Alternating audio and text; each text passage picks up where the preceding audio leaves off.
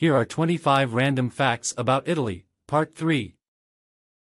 51. The Pantheon in Rome is one of the best preserved ancient Roman buildings. 52. Italians invented the violin, piano, and other musical instruments. 53. Italy has hosted the Olympics three times. 54. The official residence of the Pope is the Apostolic Palace in Vatican City. 55. Italy has the largest number of wine grape varieties in the world. 56. The Italian Riviera is famous for its scenic beauty. 57. Italians have a tradition of taking a passeggiata, or evening stroll. 58. Italy is known for its contribution to science, including Galileo Galilei. 59. The Italian language has many dialects. 60. Italy has the second highest number of Nobel Prize winners in literature. 61. Italian cities are known for their piazzas, or public squares. 62. Italy produces over 50 million hectoliters of wine annually. 63.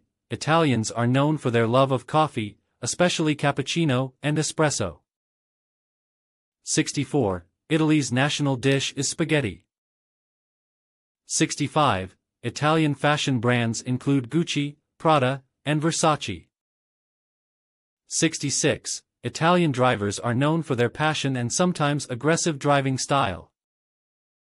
67. Italy has a rich tradition of craftsmanship, particularly in ceramics and textiles. 68. Italy's most famous playwright is Luigi Pirandello. 69. Italy's population is aging, with a high proportion of elderly citizens. 70. Italian weddings are often elaborate, multi-day events. 71. Italy is the leading European country in terms of biodiversity. 72. The Italian language has influenced many other languages. 73. Italy has a diverse climate, from the Alps to the Mediterranean. 74. The city of Matera is known for its ancient cave dwellings. 75. Italy is famous for its contribution to architecture, including Roman and Renaissance styles. Which one was your favorite? Let me know in the comments below.